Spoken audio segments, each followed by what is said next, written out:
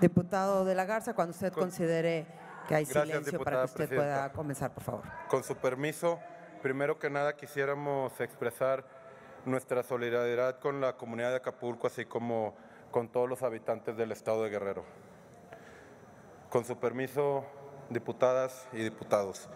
Un 30 de octubre, pero de 1837, en Coahuila nació Francisco Ignacio Madero González, mejor conocido como Francisco I. Madero, quien fuera empresario, escritor, filántropo, político mexicano y sobre todo una voz potente, potente en contra del régimen de Porfirio Díaz, lo cual contribuyó a desencadenar la Revolución Mexicana. Hombre sencillo e idealista, de firmes convicciones democráticas y sincera preocupación social. Madero quiso superar mediante las urnas la dictadura de Porfirio Díaz, presentando su candidatura como cabeza del partido antireeleccionista en los comicios de 1910 se enfrentó ante un fraude electoral que lo motivó a proclamar el Plan de San Luis, en donde se desconocía el resultado de las elecciones e impulso a levantar las almas en defensa de la democracia.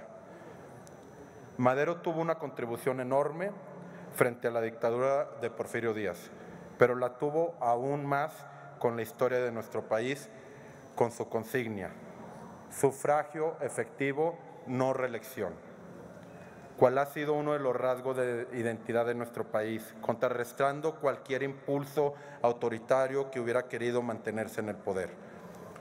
Hoy vemos una situación de desequilibrio de poderes contra la cual Madero seguramente se opondría. El Poder Legislativo ha renunciado a muchas ocasiones a su función primordial de fungir como contrapeso del Poder Ejecutivo y por lo contrario, hace eco de la agenda de este, tal como sucedió en días pasados, cuando la mayoría de esta Cámara votó por el debilitamiento del Poder Judicial.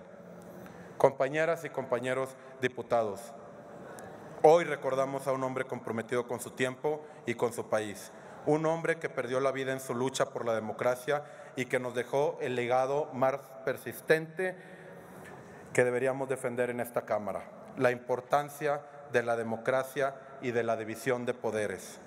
En la bancada naranja estamos convencidos de que el discurso de libertad y de democracia que promulgaba Francisco y Madero debe de continuar en nuestro país y es nuestro compromiso repetirlo insistentemente en cada intento que hagan por debilitarlo. Es cuanto. Muchas gracias. Muchas gracias.